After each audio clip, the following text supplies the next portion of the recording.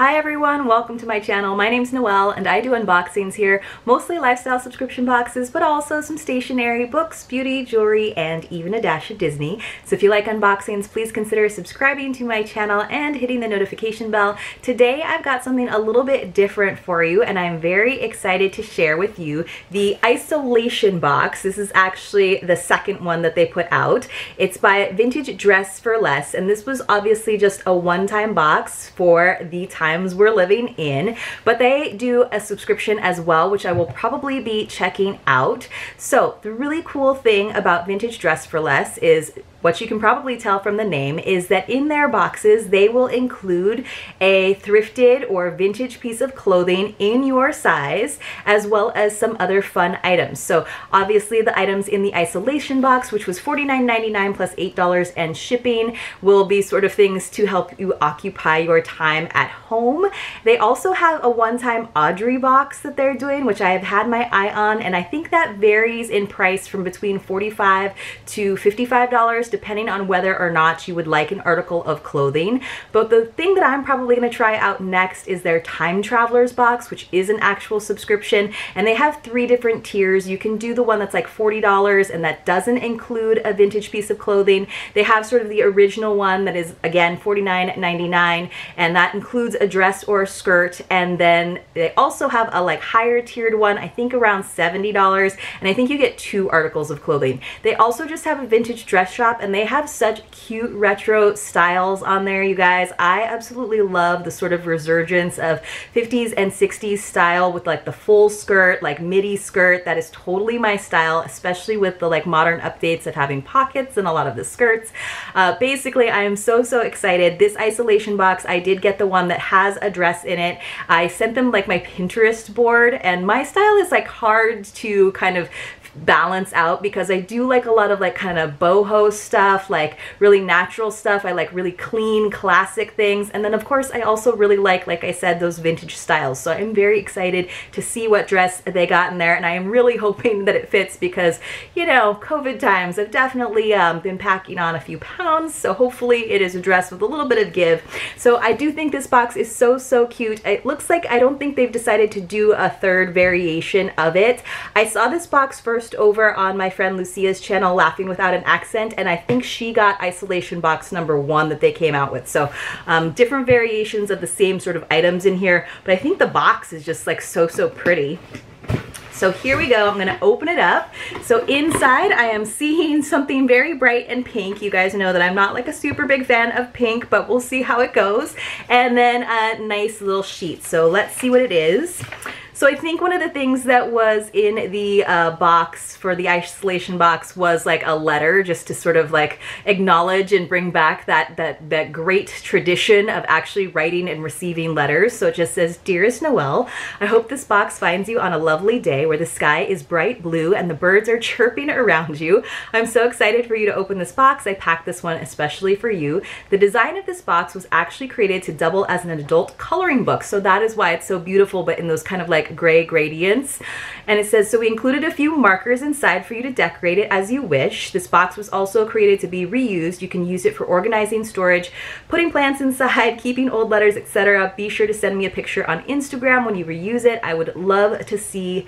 So Remember you guys, I'm over on Instagram too, so definitely check that account out. It's just Maui underscore Noel. I always leave the link for that below, but you will probably see if I get to any of these isolation box projects over there, as well as if I try on the dress and it fits. I will try to post a picture over there because I don't usually do try-ons because I like to do single take videos. So that's why even though I'm on, I think my 97th Stitch Fix, you haven't seen me do any of those try-on videos because that's just not what my channel is about yet. So let's get into it. They did mention that there are some markers, so I'm gonna kind of pull some stuff out so that I can talk about everything. So here are some markers. They're kind of stuck halfway into this little organza bag and I got a hot pink, a red, and a yellow. So that's cool. I actually have like some other markers at home. I have tons of colored pencils and I haven't uh, kind of had that artistic bug recently, but maybe this box will inspire me to color. I love adult coloring books, like the concept of them. And then I started using, I think it's called Pigment, which is like one that you do on your phone. And you can get really creative with that, but you can also just kind of like tap the different sections and color the spaces and sometimes that's meditative enough for me. Uh, anyway, so we've got our markers and then what else?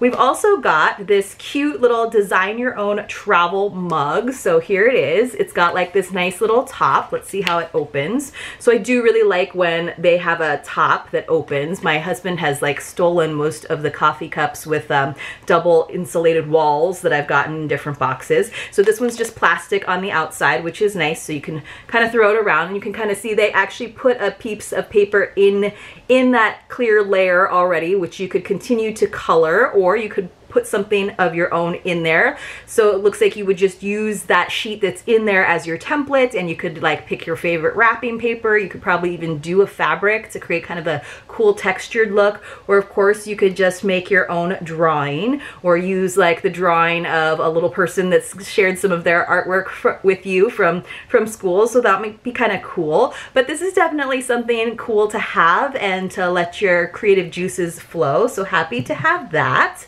And then what else was in here before we get into the dress? Oh, so we all got a face mask, which is awesome. And I have like a bunch of face masks, some that have been made by friends, some that I have bought, some that are just like the disposable kind. Um, and I'm always looking for the next best style, right, that's gonna work the best. So this is a really pretty pattern. So it does look like it has that nice kind of almost like a gusset. So it's got a little more shape to it, which I really, really like because then it's not like plastered on your face and you can actually breathe a little bit better. And it looks like it has a pocket on the inside and then it has like nice thin straps but it looks like there are two straps that actually go like back behind your head instead of around your ears which I actually think might be be a good thing for me because I actually like it when you can kind of just leave it around your neck as well instead of having to like pull it off and pull it on. And plus I like to wear dangly earrings so it'd be nice to have one that doesn't go over my ears and kind of pull them forward. So I haven't tried this style on yet but hopefully I will have a chance to use it as well, use it soon. And I think that there is a face mask in the Audrey box that they're offering as well. So definitely check that out. Cool, I like the pattern too. It's kind of fresh and fun. And then let's see what else we've got. This is so cute. This little like bunny, you guys know I have like a soft spot for like cute whimsical things. And it just looks like a greeting card again to kind of get us back into that world of actually writing letters and not just doing everything online. But it's actually got like a bunny that's like your FedEx guy. Um, and the FedEx and UPS and my, my mail carrier, they all I think have a love-hate relationship with me because I've started getting so many boxes all the time. So it's just blank inside, but I just think that is an adorable image. So that is super duper cute. It's a great way to encourage someone while we're in isolation still uh, to send an actual letter. Let's see what else. And then they always include a book. I know that a book is also included in the Time Travelers box. So this one is actually not like a vintage like hard cover book or anything. It just looks like maybe it's a remainder or something from a bookstore, used bookstore. It's paperback and it says How the Scots Invented the Modern World, the true story of how Western Europe's poorest nation created our world and everything in it by Arthur Herman. So it looks like it's nonfiction.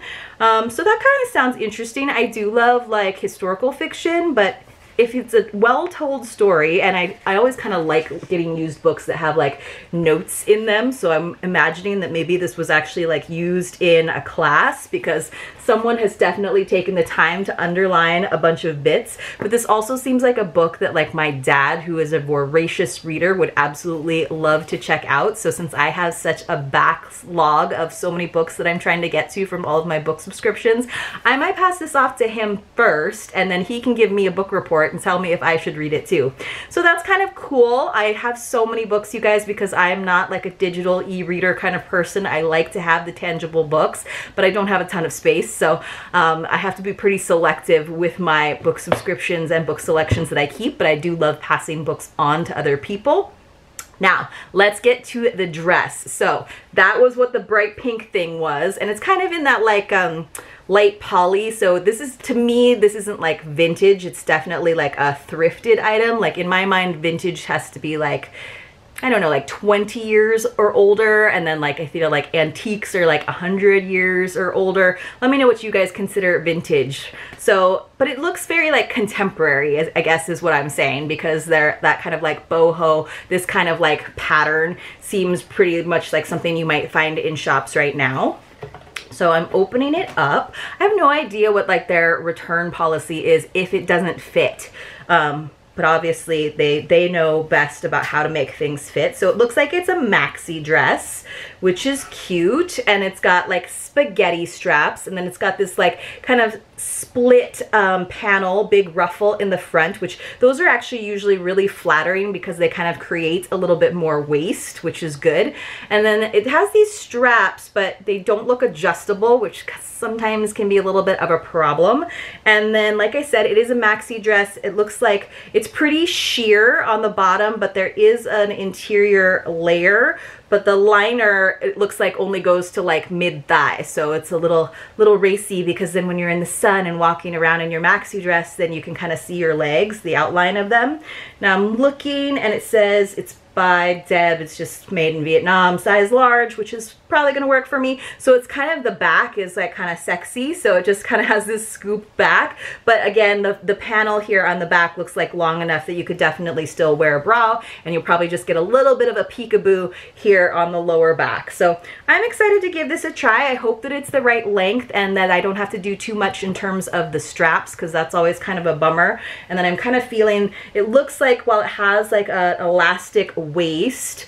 Um, it has sort of a faux tie. So we've got these little like ties that you could do a bow with. And then it's got these little like brass beads at the bottom. So I'm not super excited about the color, but I do like the pattern. Like I said, it feels pretty contemporary. I like the idea of um, going back to the thrift stores for a long time. I haven't done that. I used to do it all the time, but I think it's part of being a good human and sort of promoting sustainable living to take advantage of all of the awesome clothes that are available to us and often at a great discounted price. Um, and I think it's really fun to have someone else pick out a dress for you. And like I said, I do hope that it fits and I can show you guys over on Instagram. Um, and I love that, just that idea of even sending her the Pinterest, my Pinterest account, um, which is not necessarily something that they tell you to do, but I just went ahead and did that to like kind of give her an idea of my style, which again is kind of a cross between like boho and vintage and like very, very clean, very, very simple, like the opposite of this pattern, like sleek black, but I definitely have some fun like patterns like this in my closet as well.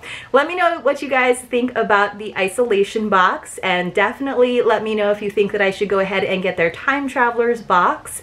And if you love Audrey Hepburn, you should definitely check out their Audrey box that is on sale right now. Hopefully I will see you all very, very soon in my next unboxing. If you liked this video, please help me out by giving it a thumbs up and I'll see you soon.